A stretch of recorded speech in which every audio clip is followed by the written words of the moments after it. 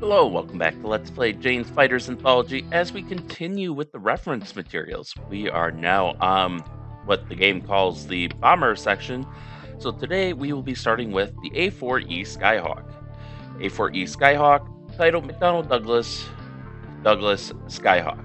US designation A4, type single seat attack bomber aircraft program, designed originally to provide the U.S. Navy and Marine Corps with a simple, low cost, lightweight attack and ground support aircraft, Skyhawk was based on experience gained during the Korean War. Since the initial requirement called for operation by the U.S. Navy, special design consideration was given to providing low speed control and stability during takeoff and landing, added strength for catapult launch and arrested landings, excuse me, and dimensions that would permit permit it to negotiate standard aircraft carrier lists without the complexity of folding wings.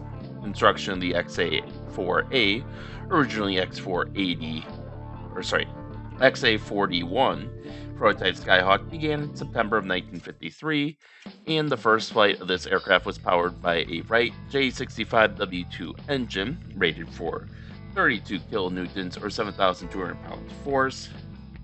Took place 22nd of June 1954 variants A4A, formerly A4D1, initial version with J65W4 turbojet engine, rated for 3,493 kil- kilograms or 7,700 pounds force. First A4A flew 14th of August 1954, and this version entered service with the U.S. Atlantic and Pacific fleets 26th of October 1956. 166 were built. Upgraded engines, 3,855 kilograms or 8,500 pounds force, fitted progressively to all aircraft.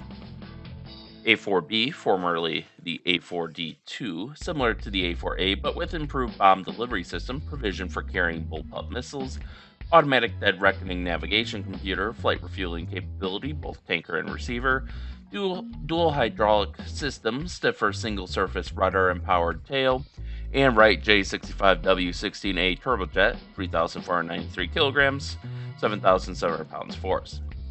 First flight 26th of March 1956, 542 built, 50 reconditioned for Argentine Air Force, upgraded engines, 3,855 kilograms or 8,500 pounds force, fitted progressively to all aircraft. A4C, formerly the A4D2N, similar to the A4B but with longer nose to accommodate additional equipment to improve all-weather capability. New items included advanced autopilot, low altitude bombing, all altitude indicating gyro system, terrain clearance radar, and angle of attack indicator. First flight 21st of August 1958, deliveries began in 1959. Production completed in December of 1962, 638 built, operated engines 3,855 kilograms or 8,500 pounds force, fitted to all aircraft progressively. The A4E, formerly the A4D5. Increased payload and 27% greater range, powered by a Pratt & Whitney J52P6A turbojet with 8,500 pounds force or 3,855 kilograms force. Douglas Escapac Zero Height 90 knot rocket ejection seat, four underwing and one under fuselage bomb racks are able to carry as many as 20 different items weighing up to 8,200 pounds or 3,720 kilograms total. First flight, 12th of July 1961, deliveries to the U.S. Navy began in November 1962. 499 built, 43 reported to have been supplied to Israel, production completed. TA-4E, original designation of prototypes, a TA-4F. A-4F, attack bomber with J-52P-8A turbojet rated at 41.4 kilonewtons or 9,300 pounds force. New lift spoilers on wings to shorten landing run by up to 305 meters or 1,000 feet. Nose wheel steering, low pressure tires. Uh, zero zero ejection seat, additional bullet and flak resistant materials to protect pilot, uprated or updated electronics contained in fairing hump aft the cockpit, prototype flew for the first time 31st of August 1966. Deliveries to U.S. Navy began 20th of June 1967 and were completed in 1968 excuse me, with 146 built. The A4F, tandem two-seat dual-control trainer version of A4F for U.S. Navy. Fuselage extended 0.71 meters or 2 feet 4 inches. Fuselage fuel tank reduced to 379 liters or what or by 100 US gallons or by 83.3 imperial gallons. Pratt & Whitney J52P6 or 8A engines optional Douglas Escape rocket ejection seats provision to carry full range of weapons available for A4F. Reduced electronics, first prototype flew 30th of June 1965. Deliveries to the U.S. Navy began in 1966. A4G, similar to the A4F for the Royal Australian Navy, equipped to carry Sidewinder air to air missiles, first of eight delivered 26 July 1967. TA4G, similar to the TA4F for Royal Australian Navy, first of two delivered 26 July 1967. A4H, designation of version supplied to Israel. Delivery of an initial batch of 48 in 1967 and 1968, followed by 60 more by early 1972 retrofitted with Rafael Mahat lightweight analog weapons delivery system. The A4H, tandem two seat trainer version of the A4H for Israel 10 delivered. The A4J, tandem two seat trainer, basically a simplified version of the TA4F, ordered for the U.S. Naval Air Advanced Training Command under a $26.834 million contract, followed by a further contract in mid 1971 deletion of the following equipment, although provisions retained radar, dead reckoning navigation system, low altitude bombing system, air to ground missile weapon systems, weapons delivery computer, and automatic release, interval meter, gun pod, standard stores pylons, in flight refueling system, and spray tank provisions. Addition and relocation of certain instruments, J52P6 engine standard, provision for J52P8A engine, and combat electronics. Prototype flew in May 1969, and the first four were delivered to the U.S. Navy 6 of June 1969. A4K, similar to the A4F for the Royal New Zealand Air Force, different radio and braking parachute, first of 10 delivered to the Royal New Zealand Air Force 16th of January 1970. A4KU, designation of 30 aircraft similar to the A4M for Kuwait Air Force, deliveries began in spring of 1977. TA4K, similar to the TA4F for Royal New Zealand Air Force, the first of four was handed over 16th of January 1970. TA4KU, designation of six aircraft similar to the TA4F for Kuwait Air Force. A4L, modification of A4C with upgraded engine, bombing, computing system, and electronics relocated in fairing hump, aft the cockpit as on A4F. Delivered to U.S. Navy Reserve Carrier Air Wing in December of 1969. A4M Skyhawk II, similar to the A4F, but with J52P408 turbojet rated at 50 kilonewtons or 11,200 pounds force, and braking parachute standard, making possible combat operation from 1,220 meter or 4,000 feet fields, and claimed to increase combat effectiveness by 30%. Larger windscreen and canopy, windscreen bullet resistant, increased ammunition capacity for 20 millimeter cannon more powerful generator, provision of wind driven backup generator, and self contained engine starter. First of two prototypes flew for the first time, excuse me, 10th of April 1970. About 50 initially ordered for U.S. Marine Corps, the first of which was delivered 3rd of November 1970. Further order was placed subsequently in the fiscal year 76 budget, included $70 million for the procurement of a final 24 aircraft. Funds also allocated for the installation of improved electronic warfare equipment in service aircraft and for the continued development of an angle rate bombing system or ARBS for future installation in A4Ms, see A4Y. Description The following description applies to the A4M aircraft. Design features cantilever low wing monoplane, sweep back 33 degrees at wing quarter chord with all metal 3 spar structure Spars machined from solid plate in one piece tip to tip.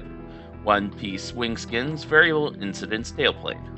Structure The fuselage is an all metal semi monocoque structure in two sections. Rear section removable for engine servicing. Detachable nose over communications and navigation equipment. Integral flak resistant armor and cockpit area with internal armor plate below and forward cockpit. The tail unit is a cantilever all metal structure. Landing gear hydraulically retractable tricycle type with single wheel on each unit. All units retract forward, free fall emergency extension. Main legs pre shortened for retraction and wheels turned through 90 degrees to stow horizontally in wings. Power plant. 150 kilonewton or 11,200 pound force Pat, Pratt and Whitney J52 P408 turbojet engine, fuel and integral wing tanks, and self-sealing fuselage tank aft the cockpit. Total capacity 3,028 liters or 800 U.S. gallons or 666 imperial gallons. One 568, 1,136, or 1,514 liter, or 150 or 300 or 400 US gallon, or 125, 250, or 333 imperial gallon auxiliary tank can be carried on the under fuselage bomb rack, and one 568 or 1,136 liter, or 150 or 300 US gallon, or 125 or 250 imperial gallon auxiliary tank on each of the inboard underwing racks. Maximum fuel capacity, internal plus auxiliary tank, 6,814 liters or 1,800 US gallons, or 1,498 imperial gallons. Large refueling probe can be carried on starboard sided nose. Douglas developed self contained flight refueling unit can also be carried on the under fuselage standard bomb shackles provision for JATO.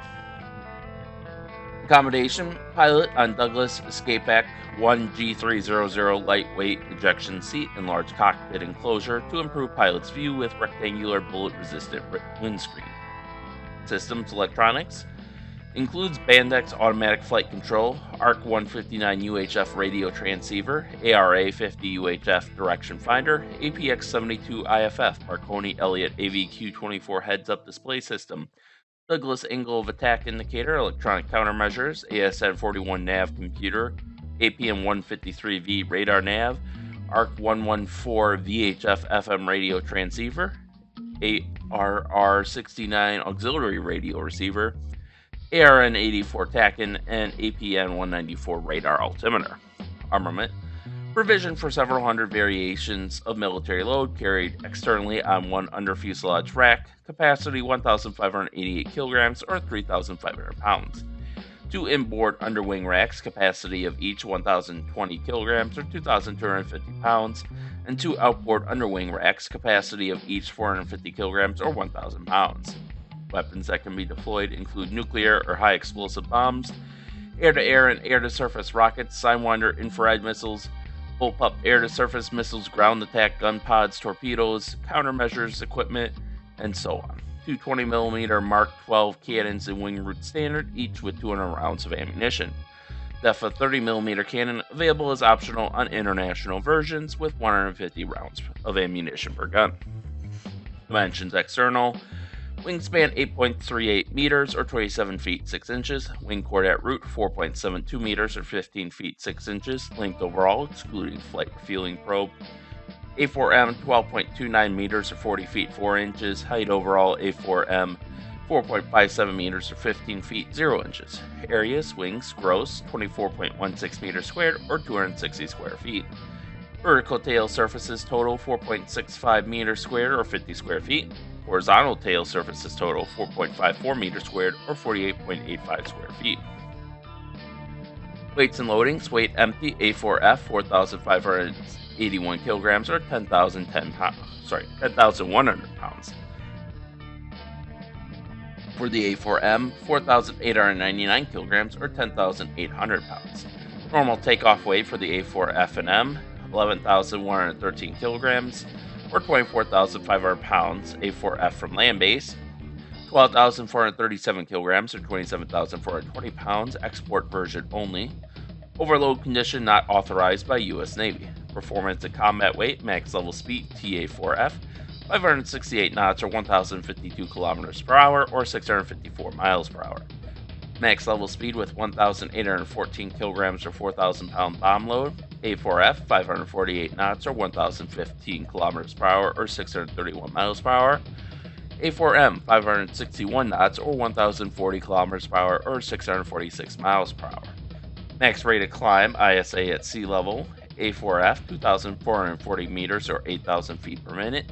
A4M 3,410 meters or 10,300 feet per minute. Ready to climb ISA at 7,620 meters, 25,000 feet, A4F 1,097 meters, or 3,600 feet per minute, A4M 1,463 meters, or 4,800 feet per minute. Takeoff run at 10,433 kilograms or 23,000 pounds takeoff weight. A4M 1,030 meters or 3,380 feet. A4M 832 meters or 2,730 feet. Max ferry range A4M at 11,113 kilograms or 24,500 pounds. Takeoff weight with max fuel. Standard reserves 1,740 nautical miles or 3,225 kilometers or 2,000 miles.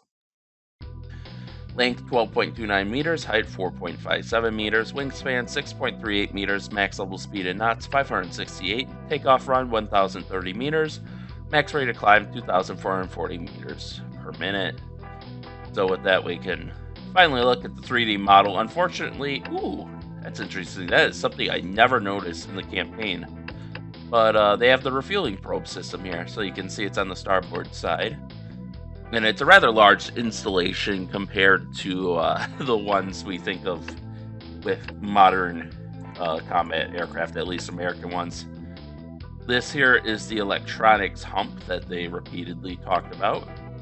And we can see it's a very small aircraft, which actually, despite its role as a subsonic attack aircraft, makes it highly maneuverable, which is why even, well, I think they might have finally been phased out, but for the longest time, these were used as aggressors at uh, Top Gun, as I'm sure people know if they ever watched the uh, Top Gun movie, which honestly, if you're here, you probably have. And then on some views, we can, there we go. We can sometimes see the hook from the sides. The game doesn't have the parachute option. We can see there's a radio transceiver there. There's actually a lot of detail put into this aircraft. You got the two air inlets for the single Pratt Whitney turbofan here.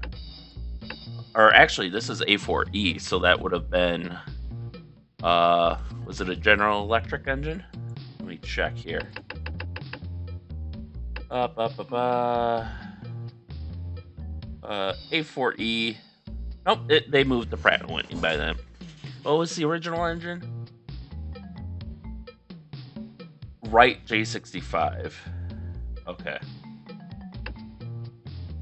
So yeah, the A4M is like the super modernized version that really saw most use in foreign service, but and that you even got the what I assume is supposed to be rust from uh, just being out at sea for so long. But yeah, there we go. There's the oh, this is the uh, so it's okay. So you see that and there. I wonder if those are, yeah, those are definitely supposed to be the 20 millimeter cannons too. So actually, a lot of detail on this aircraft versus some of the other aircraft we've seen. Very impressive, and it's unfortunate that most people probably don't even get a chance to notice this because they aren't, you know, they don't go through the reference materials like this one by one, so they don't get the opportunity to you know, pick out the details like this in a calm environment where we aren't, you know, where you have full control of the camera around the aircraft and you aren't being attacked by enemy aircraft or SAM systems or something. But with that being said, I think that will do us for now. So with that, thank you all for watching and stay tuned for next time and stay safe out there and we'll see you then.